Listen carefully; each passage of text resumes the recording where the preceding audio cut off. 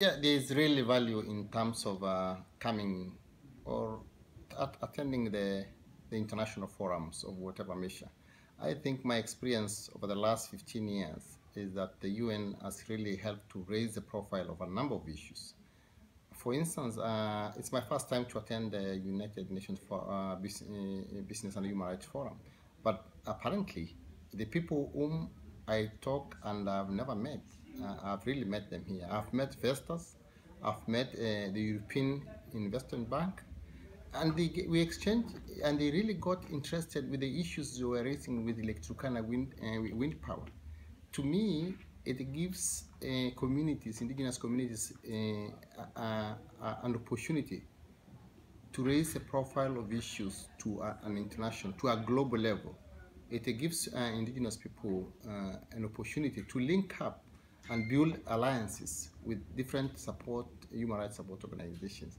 And um, um, I have so many other experiences in the past where issues that could not be, uh, have not been discussed uh, uh, at Kenyan, Kenyan borders simply because of the nature, uh, the threat people will feel have not been discussed. So to me, it's very important. It's a capacity building uh, process as well people learn how to negotiate, how to present their issues. They get uh, get to meet people like the special rapporteurs. Uh, so to me, and you, you, investors here, the people we are talking about, and you have never. Uh, it's very difficult to get to come close to them in Kenya.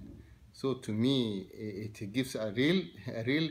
It's a reality that indigenous peoples um, really need, need, to come to face uh, to face with these people and build some level of dialogue it also sometimes when people read things away, they think it is it is something that people create, something that's not real. But when people really present realities on the ground to to financiers, investors, and the United, United Nations human rights uh, bodies and processes, I think they get to appreciate uh, uh, that there are issues that need to be addressed. And I think to me, uh, there is need to continue supporting indigenous people to attend these forums for a number of, uh, to be able to build leverage with other uh, indigenous peoples from different parts of the world. The issues are the same from Asia, Latin America, and I think uh, Africa, which is still uh, lagging behind on this, and a number of issues can really benefit from the experiences of other organizations from a different part of the world.